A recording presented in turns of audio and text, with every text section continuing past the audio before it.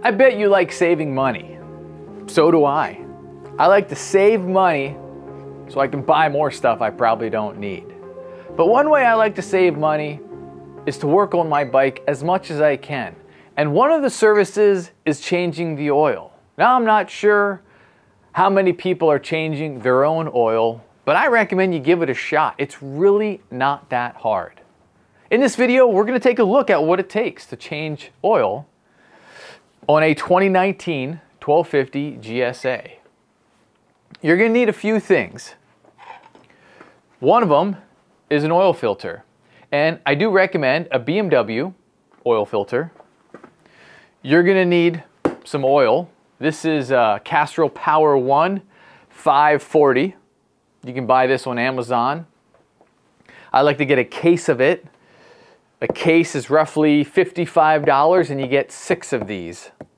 I'll try to sprinkle some links down below so you can take a look at yourself. They don't always got it some sort of filter wrench, or maybe you just got really strong hands, but you got to get the filter off and back on. Going back on is really easy. It's just snug, but sometimes it is, it is a little bit stiffer.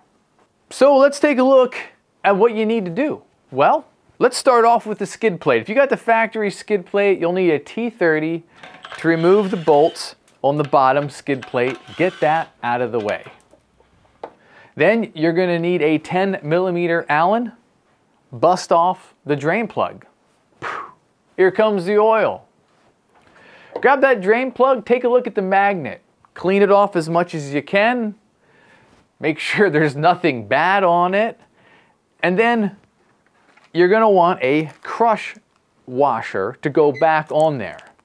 When you remove it, you should also make sure you see it come off and it doesn't stay on the engine. So definitely recommend a new crush washer. Put that back in, hit it with a torque wrench. You could just snug it up, but hey, why not if you got a torque wrench? You got the oil filter, you're gonna remove it, you're gonna put the new one on. That's simple. T30, back up your skid plate. Then where does the oil go in? Well, if you pull off your passenger seat, look underneath it, hopefully you have your factory tools still. And your factory tools should include this little screwdriver. And when you pull off the bit, you'll see this part right here fits perfectly on the fill plug down here on the right cylinder head. If it's a little tight for you to turn, you can simply stick this in on the side. There's a hole and now it gives you better leverage to turn it. It's simply a plastic little cap. You're going to get it out of the way and you're going to put your oil in. That's it. Your oil is now changed. Every 6,000 miles, BMW recommends you change your oil. So the next step maybe might not be that simple and it might not be that inexpensive, right? I started off by talking about saving money and now I'm about to tell you you're gonna need a $400 tool a scan tool to reset your service light. I know, it's annoying. It is what it is. We can only hope BMW changes this in the future.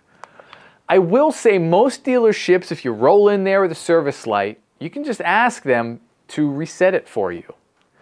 Some will, no problem. Others will charge you maybe 30, 40, 50 dollars. I don't really know. That's going to depend where you live.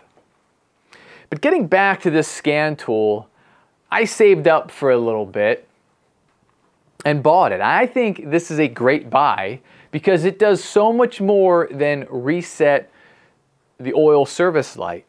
Meaning if you've got suspension problems or if you're changing other components out or if you want to read different telemetry. I'm not going to get into all this thing can do in this video because it's just about changing oil.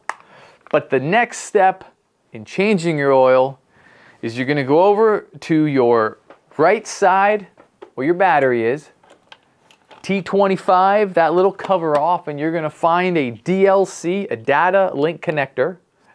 Same one actually that your car has if you have a newer motorcycle, again 2019. You plug this in, you get a laptop, you use your smartphone, and you reset your oil. Once the GS911 is hooked up to the bike, you're going to launch the app.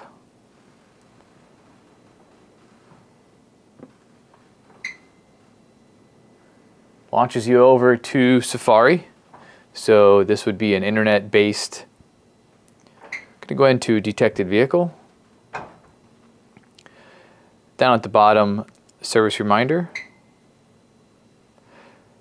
Service reminder functions. Reset service reminder. You can either do a custom date and mileage or simply the standard 365 days, 6,000 miles. Service reminder has been reset. I hope this video motivates you to change your own oil.